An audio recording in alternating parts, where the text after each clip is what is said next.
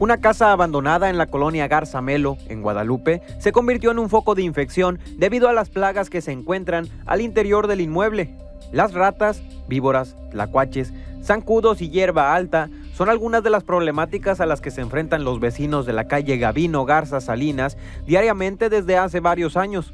Esta situación preocupa a los habitantes, ya que comentan haber realizado reportes a las autoridades, sin embargo, siguen sin ser atendidos. Ya en una ocasión nos enfermamos de dengue y pues más que nada, ahorita mis hijos andan también enfermos de vómito y diarrea y no, no se han ido a checar si es eso y bastantes animales, eh, incluso mis gatos salen mordidos por las propias ratas que son demasiado grandes.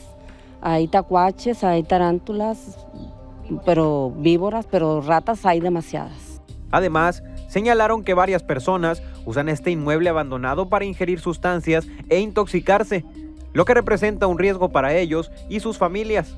Algunos vecinos por cuenta propia han cortado la hierba que hay en el exterior, aunque esto no es suficiente para hacer frente a las plagas que hay al interior de la casa. Nos estacionamos y nos ocupamos bajarnos del carro y está la hierba, de repente salen ratas, víboras, eh, tlacuaches y pues lo que se trata de hacer es limpiar, pero pues a veces ya llegas cansado del trabajo y ya no se ha podido. O sea, sí se ha hecho, pero ya no se ha podido.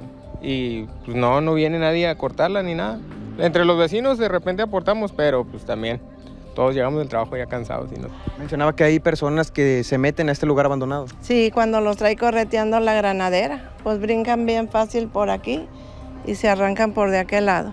Según los afectados, este lugar era usado como vecindad años atrás y luego de que falleciera el propietario quedó abandonado, originando poco a poco los problemas que hoy enfrentan.